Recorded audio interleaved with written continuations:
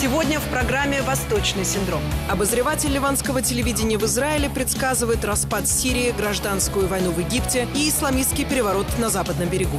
А также, как султан Эрдоган расправляется со свободной прессой в своей стране. «Восточный синдром» сегодня в 21.45 на девятом канале.